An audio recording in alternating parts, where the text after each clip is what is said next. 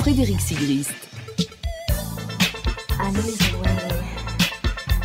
Yeah. Pour parler de celle qui mérite plus que quiconque le terme de star, Daniel Ishbia, bonjour. Bonjour, C'est gentil de revenir nous voir. avec plaisir, Hein toujours. Alors vous êtes écrivain, auteur de Madonna Pop Confession paru en 2006 chez City Edition et les chansons de Madonna en 2014. Absolument. Avec vous, on reviendra sur la carrière de Madonna, ses tubes, son style et son parcours et tout ce qui en a fait une des artistes les plus marquantes du 20e et 21e siècle. Également avec nous au- aujourd'hui, Sophie Bramley, bonjour. Bonjour. Alors tout d'abord, Daniel Ishbia, qui est Madonna? Madonna, c'est une femme qui a une détermination hors du commun. Rien ne l'arrête.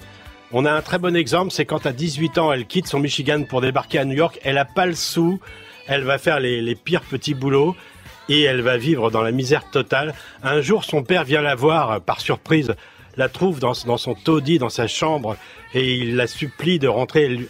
Elle il, voit l'état dans lequel elle vit. Il est, en tant que père, malgré tout, un peu autoritaire, mais malgré tout touché. Il lui dit, Madonna, je t'en supplie, reviens à la maison. Elle dit non. Elle a dû se battre contre ses parents lorsqu'elle a dit qu'elle allait à New York. Elle a dû affronter pendant une semaine l'hystérie, il n'y a pas d'autre mot, l'hystérie de sa belle-mère et de son père qui voulaient pas qu'elle aille. Elle, elle a décidé qu'elle ferait carrière et rien ne l'arrête. Quand elle prend des cours de danse, la femme qui dirigeait les cours de danse a témoigné que à 6 heures du matin, elle était là, deux heures avant tout le monde, elle bossait de façon complètement dingue. Lorsqu'elle a décidé de percer avec Like, a- on va, on va raccourcir un petit peu le, le temps, l'événement majeur, c'est Like a Virgin, si on peut le raconter. Oui, bien sûr. Donc elle a cette chanson qui a été écrite par Tom Kelly et Billy Steinberg, qui est une chanson où ces deux compositeurs qui ont fait quelques tubes de rock racontent un peu une rupture et puis le fait de se retrouver à nouveau amoureux et donc comme une vierge. Et cette chanson, elle est proposée à tout, tout le gratin de la musique américaine et personne n'en veut.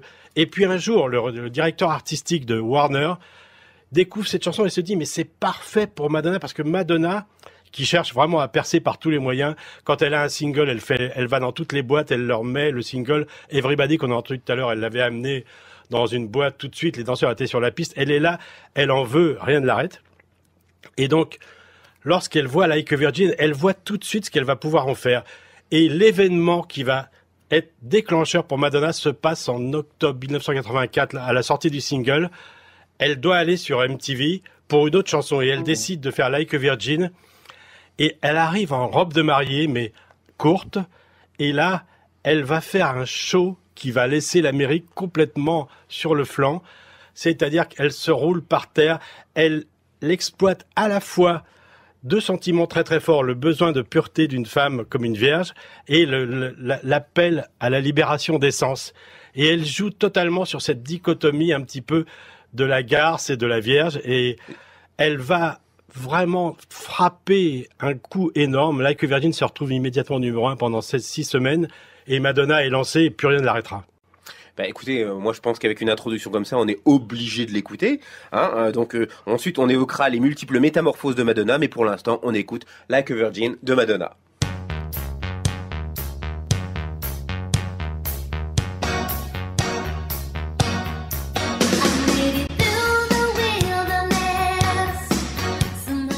On, en parlait un petit peu pendant la chanson.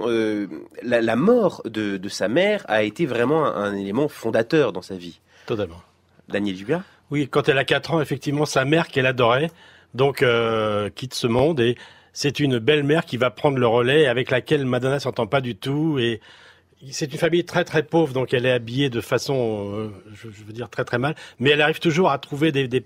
Elle a commencé déjà à faire son, un petit peu son style avec des foulards par-ci, des choses par-là, mais elle doit vivre avec un père euh, qui est extrêmement conservateur dans, dans, dans sa façon d'être. Parce que lui-même est immigré itali- Tout à fait. Et a connu des, des- des heures sombres. Ça. Et ce qui va la révéler, c'est un, un professeur de danse qu'elle a à 17 ans qui va lui révéler un petit peu qui elle est, et qui va lui donner envie, qui va lui dire mais tu es belle. Et c'est la première fois qu'on lui dit tu es belle.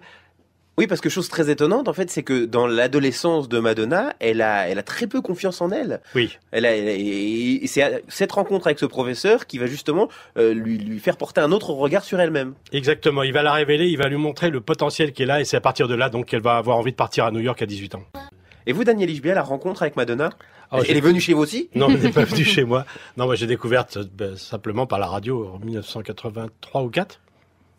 Oui. Rien de plus. Non, non, je sais Rien pas. de plus. Et ça a été un coup de foudre immédiat ou? Euh, ça n'a pas été immédiat. Moi, souvent, il me faut un certain temps pour, pour accaparer un artiste. Euh, ça n'a pas forcément été immédiat. Le film euh, est sorti à peu près au même moment, La Recherche Suzanne désespérément, qui est un film, je trouve, qui a très, très, très bien vieilli.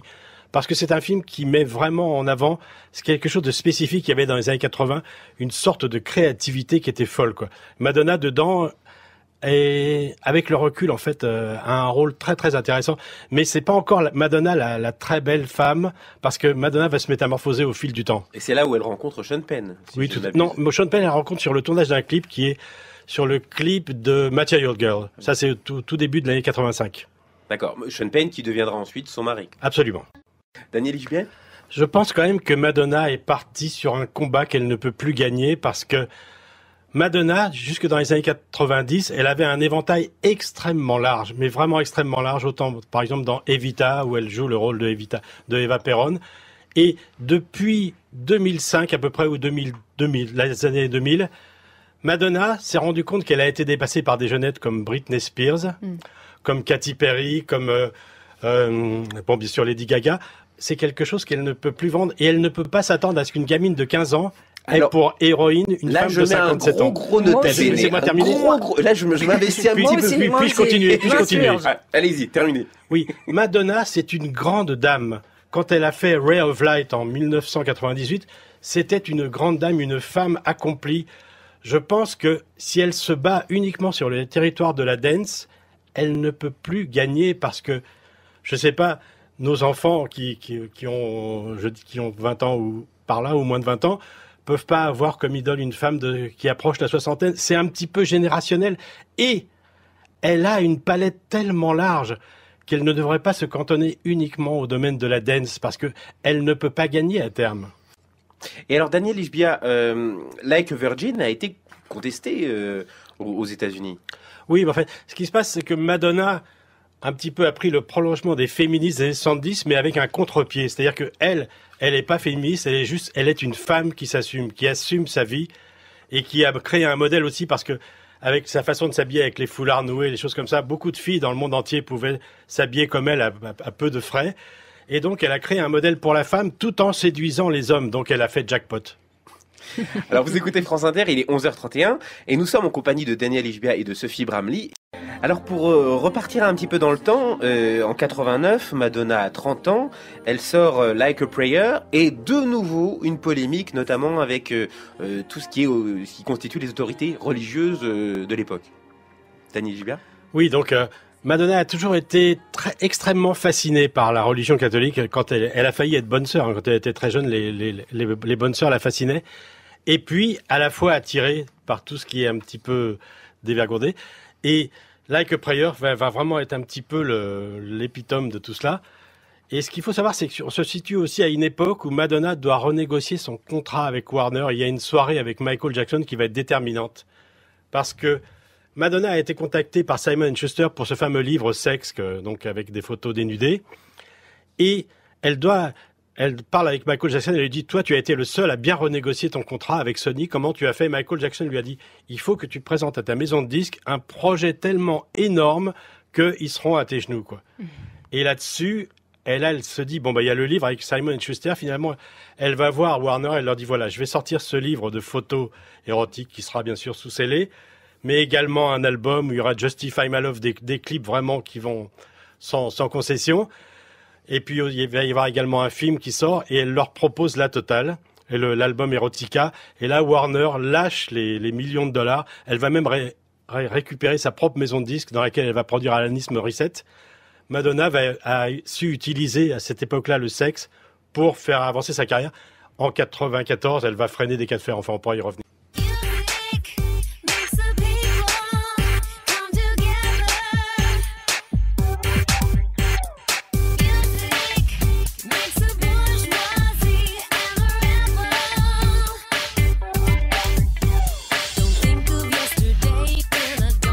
Daniel Ishbia, musique, c'est en, donc, c'est en 99. 2000, C'est- encore une nouvelle mue de Madonna. Tout à fait. En fait, tout à l'heure, on parlait de la, la période sexe. Elle s'arrête en 94 parce que Mar- Madonna a une capacité extraordinaire. C'est d'abord, c'est de capter l'air du temps et aussi de freiner au moment. Il y a eu un épisode en 93 qui s'appelait le David Letterman Show, où elle a été jusqu'au bout de l'image de la garce. Elle a même sorti à un moment une petite culotte en demandant au présentateur est-ce que vous voulez la renifler? Là, il y a eu un scandale télévisuel. Et Madonna, au bord du précipice, elle a freiné. Elle a changé complètement d'image. Elle est devenue la femme bien habillée, très classe. Et c'est un petit peu sa force, c'est qu'elle peut séduire tous les publics, que ce soit du, plus débridé au plus conservateur. Elle sait toujours sortir la facette adéquate. Et on a eu toute cette période entre 94 et 2000 qui est Madonna, la grande dame, qui a été maman, etc. Toute la période Ray of Light. Et puis 2000, effectivement, euh, devant la montée de Britney Spears et, et d'autres jeunes chanteuses, elle attaque la, la période dance. Alors, à l'heure où tout un tas de nouvelles pop stars rivalisent de provocations pour faire parler d'elle, et surtout euh, à l'heure où l'industrie du disque, du disque va très mal, est-ce que vous pensez qu'il y a encore une place pour Madonna? J'y crois à fond. Mais moi, je, oui, je, je serais elle, je ciblerais quand même le grand public au sens très large, comme elle a fait dans les années 90. En fait, ce qu'elle a fait dans les années 90, c'est presque ce qu'elle devrait faire maintenant, quoi. Faire des albums comme Bedtime Story, Something to Remember, Ray of Light. Je trouve qu'elle doit élargir sa palette. Ou quand elle faisait euh, Like a Prayer ou Papa Don't Preach avec des thèmes sociaux, je pense qu'il faut qu'elle redevienne Madonna très, très, très, très large. Mais je pense quand même qu'il faut qu'elle s'élargisse du, seulement du public dance et qu'elle aille vers le, le très, très grand public. Bon, alors là, on a deux positions. voilà. hein. Merci à tous, en tout cas. C'est c'est la fin de cette émission. Merci Daniel Ishbia. On rappelle que vous êtes auteur de Madonna Pop Confession paru en 2006 chez City Edition et les chansons de Madonna.